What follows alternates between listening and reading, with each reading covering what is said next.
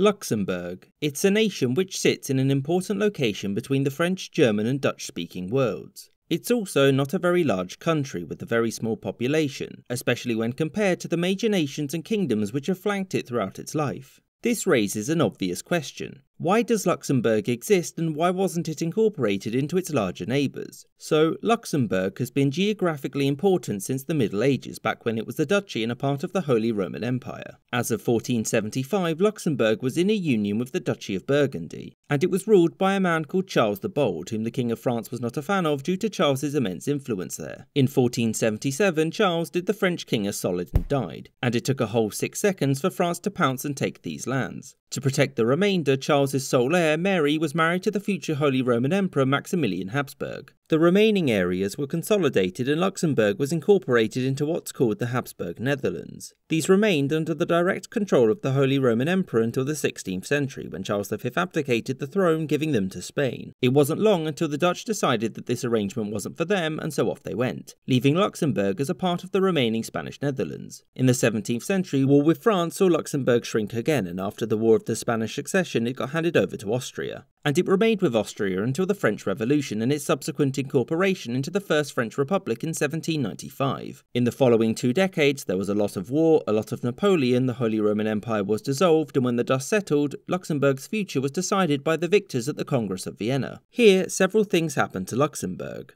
First, it came under the rule of William I, the king of the brand new United Kingdom of the Netherlands, and entered into a personal union with it. Second, it lost this territory to Prussia. Third, it was brought into the German Confederation, the sort of successor to the Holy Roman Empire, which gave it a sort of mixed constitution, with the nation being ran by William's Dutch administrators and defended or occupied by Prussian troops. And fourth, to make up for all of this, the Duchy of Luxembourg became the Grand Duchy of Luxembourg, because that way William couldn't complain. Now, it wasn't long until the United Kingdom of the Netherlands broke up, with Belgium leaving and taking this massive chunk of Luxembourg with it, giving it its modern borders. It stayed under the control of the Dutch king, who soon found himself in serious financial problems. To the rescue came Napoleon III, who in 1867 offered him a bunch of cash for Luxembourg, which he accepted. Now, Otto von Bismarck, the Chancellor of the North German Confederation, objected. To prevent war, Britain and Russia arbitrated and came up with a solution. This saw Luxembourg remain independent and further declare itself to be forever neutral. It would remain under the control of the Dutch monarchy, and it was also ordered that North German troops would withdraw, and in return, Berlin would get extra economic concessions.